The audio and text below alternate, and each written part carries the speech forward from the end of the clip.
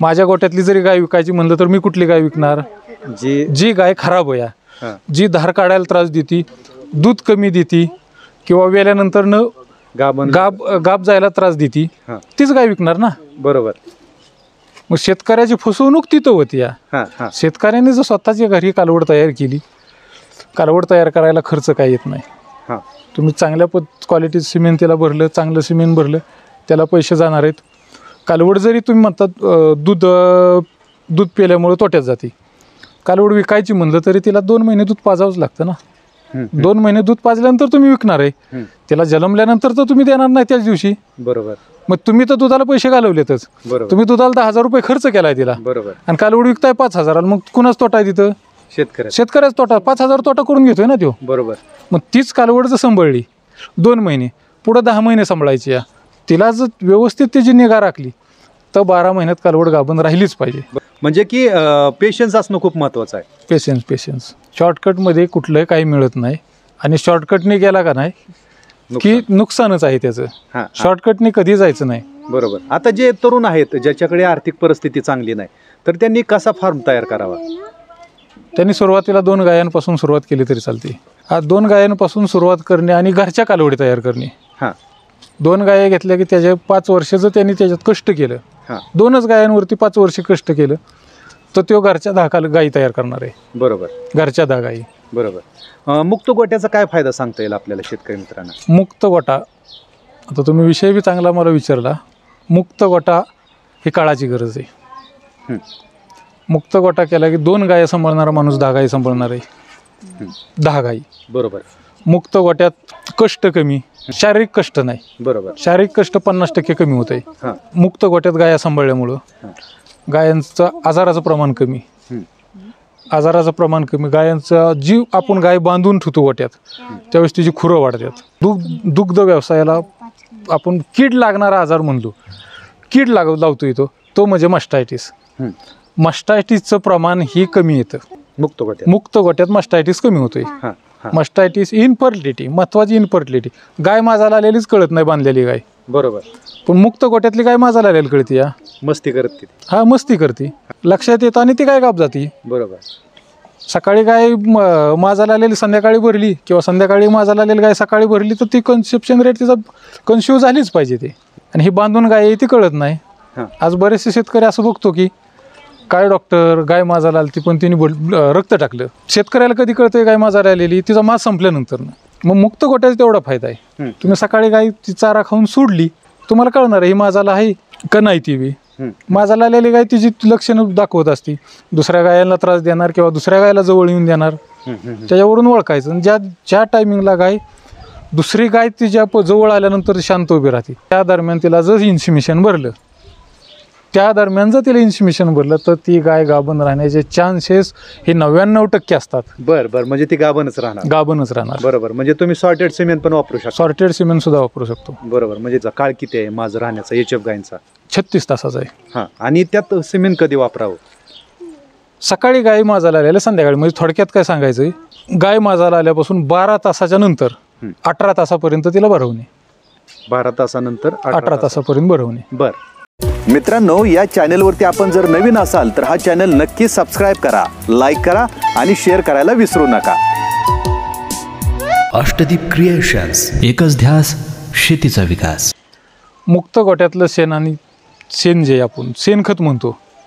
शेणात तिचंच urine mix होते लघवी mix होते. हां हां.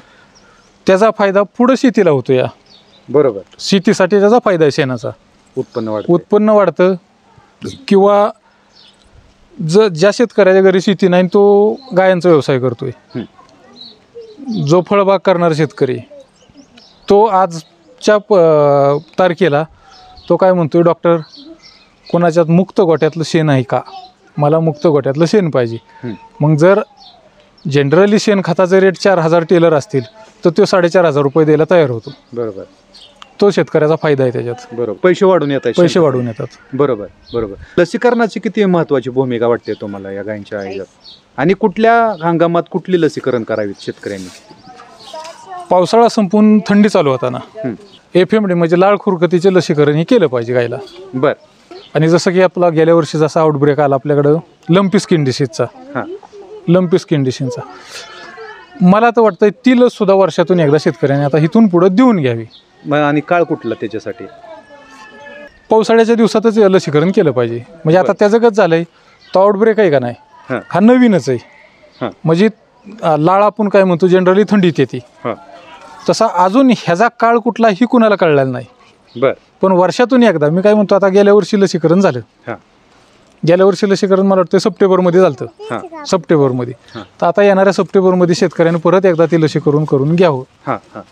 अगदी काय लसीकरणाला बी काय जास्त खर्च येत नाही त्या. बरोबर बरोबर. आता डॉक्टरजी औषधोपचार एक सगळ्यात महत्त्वाचा विषय आहे. काय फार्मवरती गेल्यानंतर शेतकरी स्वतः औषधोपचार करतात? तर हे कितपत योग्य वाटतंय तुम्हाला?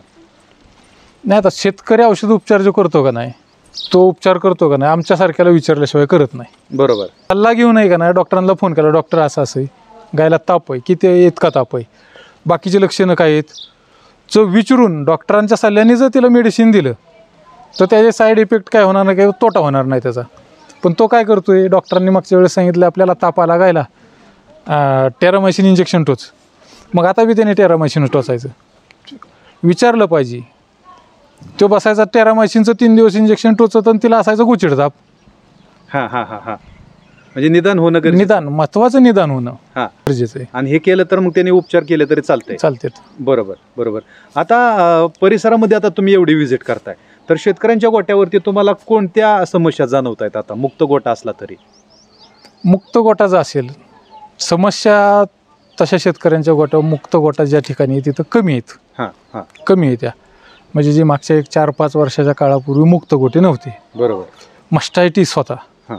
तो फार कमी झाला आहे मुक्त गोट्यात आत्ता जर म्हणलं ना समस्या हा विषय राहिलाच नाही.